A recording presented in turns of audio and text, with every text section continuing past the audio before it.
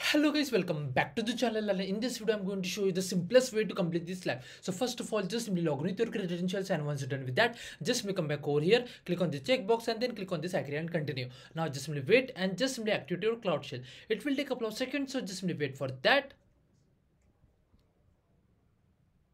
Now click on continue. Now in the description box of this video i will share all this command. So just simply copy all this command like this way and make sure that you have to copy this full stop as well. Copy like this come back over here wait for a second now. Now just click on this got it. Now just paste and hit enter. Wait for a second and then click on authorize. Now just simply wait for a couple of more minutes over here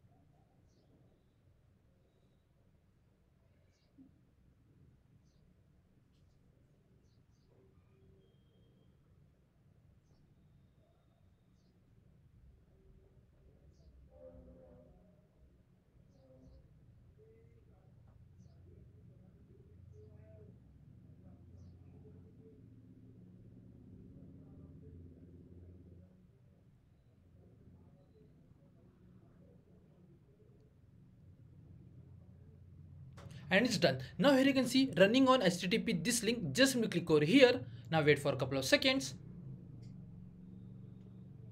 and it's open now just simply click on this create question like this now for this what you do just simply come back to the lab instructions and click on the task number four now if you just simply scroll down and click on this check my progress you will get a score without any issue just simply wait and watch now just simply scroll down and from here what you do just simply scroll down and just simply copy this title name first of all just simply copy this title name like this way come back over here now for the author just simply type your name like this way now for the quiz just choose the gcp like this way and then for the title just simply paste the thing which you just copy from here here. Now copy all this answer copy like this come back over here and just simply paste over here.